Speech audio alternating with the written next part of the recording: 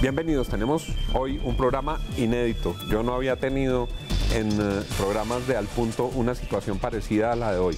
Padre e hijo, los dos en el mismo programa, en medio de una ardua campaña política. El padre es Francisco Santos, Pacho Santos, ex vicepresidente de la República, ex candidato a la alcaldía de Bogotá con una votación altísima en Bogotá, y el hijo es Gabriel Santos, candidato a la Cámara de Representantes en el Centro Democrático. Padre e hijo, bienvenidos a Al Punto.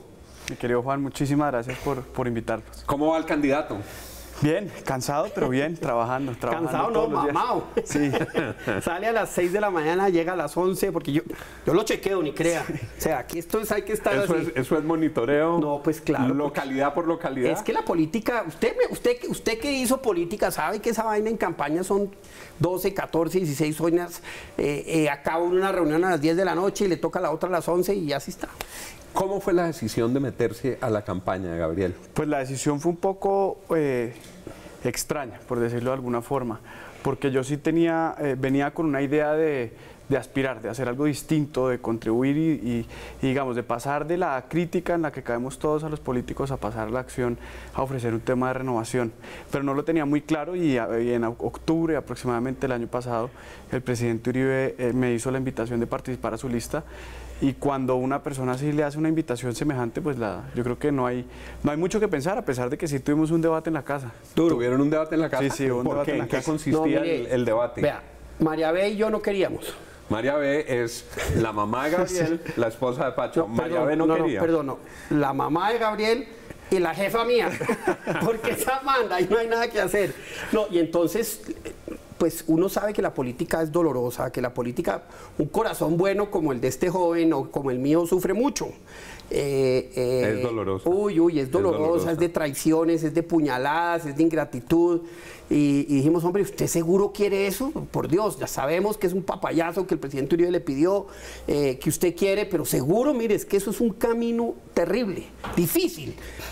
Tremendamente, digamos, cuando uno hace algo por alguien, uy, se le hiere uno el alma, pero es durísimo. Y, y- y llega este y nos dice, vea, no vengan ustedes aquí con cuentos. Cuando yo era chiquito me llevan a las marchas del secuestro, ahí de la mano. Después que el mandato por la paz, después que las marchas del no, después que nos toca irnos a España, después lle- llego de Cuando hijo les tocó irse Sí, porque por nos- amenazas de muerte. Nos iba a matar la FARC.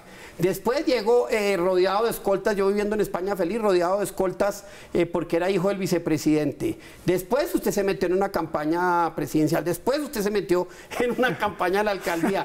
Y ahora me dice que no.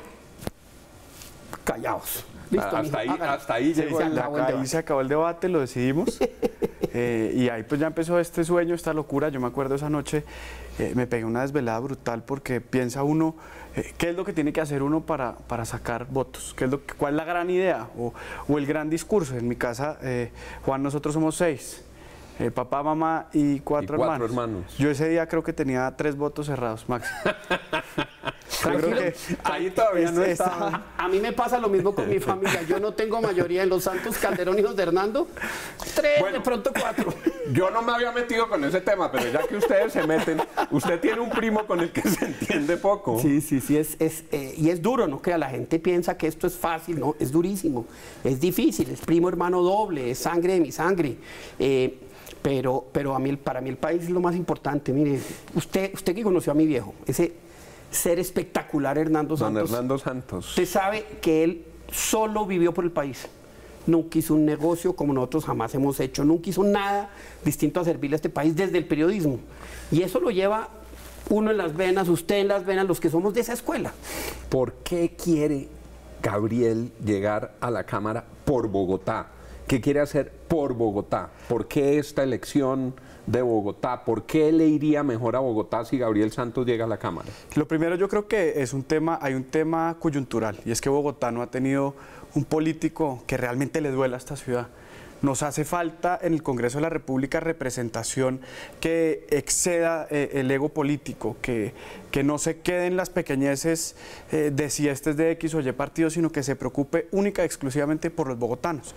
No lo hemos tenido. ¿Dónde estaban nuestros grandes políticos bogotanos exigiendo que se cumplieran los plazos en el deprimido de la 94? Usualmente el político eh, se convirtió hoy en día en una profesión de, de reacción y nosotros queremos ofrecerles a los bogotanos una política de prevención de estar desde el principio, de estar acompañando, por ejemplo, las grandes licitaciones que va a tener esta ciudad es desde el día uno, no, no cuando ya se pierde la plata porque ahí no hay nada que hacer. Y eso resulta ser un negociazo cuando un político hoy en día se roba dos billones de pesos, pasa cinco a siete años en la cárcel, sale y sale a disfrutar del banquete de lo que se robó. Y eso no puede ser, pero creo que hace falta un control político bogotano, una persona joven que lidere una bancada de Bogotá eh, un poco por encima de la ideología. Eh, los políticos que vienen a pescar votos en Bogotá, eh, el ejemplo son muchos senadores que tienen hoy en día infestadas las vallas en Bogotá. Vienen, pescan votos en Bogotá, pero se olvidan. Y no hay una representación política bogotana que nos permita a nosotros jalonar eh, los grandes avances en infraestructura, en justicia que necesita esta ciudad. ¿Cómo se preparó Gabriel Santos para ser representante de la Cámara? Pues eso, eso es un tema complicado porque porque no, no, fue, no, no, es la decisión planeada que uno tiene de tener muchos años de empezar a, a, trabajar por esto y empezar a mirar y a visitar. Entonces, pues como, como le contaba, fue un tema más express. Yo estudié en la Universidad de los Andes, trabajé en un par de, de firmas de abogados. ¿Qué estudió, Gabriel? Derecho en los Andes, y después me fui a trabajar a, a dos firmas de abogados. Después pasé a la campaña de Pacho Alcalde donde hacíamos de todo. La verdad, una campaña esas, una campaña con ideología es multipropósito. No, no es la campaña, no es la campaña de los buses, no es la campaña de los tamales, no es la campaña de los líderes, sino es la campaña de afecto. Entonces, a uno le decían, hoy hay un recorrido Bogotá 24 horas, nos íbamos. Hoy nos tenemos que sentar dos horas a hablar del tema de movilidad, nos sentábamos. Hoy hay que ir a arreglar un salón comunal, nos íbamos. Lo que, lo que esa es la, la campaña multipropósito, es eso. Ha sido, eh, en mi opinión, novedoso, digamos, sorprendente ver los videos que usted está haciendo para Gabriel. es un video del papá que adora a su hijo y dice, este es mi hijo, vote por. Sí, yo estoy orgullosísimo. O sea, a mí anoche me desvelé. Dos de la mañana. ¿Qué más tengo que hacer? ¿Cómo hacemos? Yo soy muy orgulloso de él. O sea, yo, yo lo conozco, yo lo crié, conozco todo, todo de este señor este joven y yo sé que él va a ser un gran político, va a ser un político decente, que no se va a robar un peso. Eh, y yo con ese orgullo, pues yo digo, sí señor, venga, lo presto al país para que le sirva. Y, y, y, y no, no, me da miedo. El otro día llegué a, a, a hora 20 con, eh, con mi camiseta del 104. O sea, yo no me la bajo, mi cachucha, yo voy volanteo eh, y con un orgullo. ¿Y usted que se está me volanteando para Gabriel? Sí, claro, en las esquinas. en las esquinas, las en, los, en los barrios, entonces mucha gente me dice, ay, don Pachito, ¿qué hubo? Volvió, porque como estuve hace dos años, claro, mijo, mire, le presento, aquí le entrego a mi chinito. Y la gente se muere la risa y me dicen, este es hijo suyo, sí, entonces yo voto por él. Eh, yo he logrado generar como un afecto, porque yo como soy tan desprevenido y tan tranquilo, y, y pues, eh, eh, y eso me gusta, a mí la calle me encanta, pero Esas- de or- lleno de orgullo también. Y así, y así se ve, así se Sí, ven los claro. videos. Los videos en realidad no son videos políticos, son videos de un papá Sí, que adora claro. videos que, a su que- hijo. que en, mucha- en muchas ocasiones ni siquiera Él no los vio, yo. él no los O sea, sabía. Ah, eso no es consultado. No, no, no, eso es, eso es, es que yo creo que parte de lo que nos hace falta es humanizar al político. Que la gente no vea al político como, una- como un ente extraño, como sentado en un monte del Olimpo, sino, sino ver qué es lo que hay detrás del político. ¿Quién mejor que mi papá y mi mamá para representar lo que soy yo? Claro que la mamá se quejó del video que hicimos Sí, de ella. sí. Uy, no, por favor, salgo feísimo, necesito repetirlo. y lo repitieron, le hicieron caso. Ah, ¿Usted qué? No, pues ahí mismo se retiró de la quién, red, se bajó quién ya. es el, quién es el jefe de cámaras de los videos? ¿Usted mismo con un, haciéndose Ma- los selfies? Más o menos, más o menos, más o menos, porque pues uno de los que hace es que nosotros no hacemos política con plata. Eh, nosotros no compramos un voto, nosotros no ponemos tamales, nosotros hacemos política de calle y de ideas. Y esto, y como con mucha frescura, entonces eh, yo hago de todo. Si me toca manejar la van, pues hasta la manejo. Eh, pero, pero me gusta mucho y, Eso puede poner en peligro la campaña. Me imagino que Eso- eso que no, de pronto. dirán los seguidores, Pacho, no, no maneje, cuidado, cuidado, despacito. Estas son las, digamos, los momentos gloriosos, cuando hay afecto por Francisco, cuando hay afecto por el proyecto político, pero debe haber momentos duros, insultos, Sí, antiuribismo, Sí, eh, gente que los acusa de oponerse a la paz, gente que dice no más santos.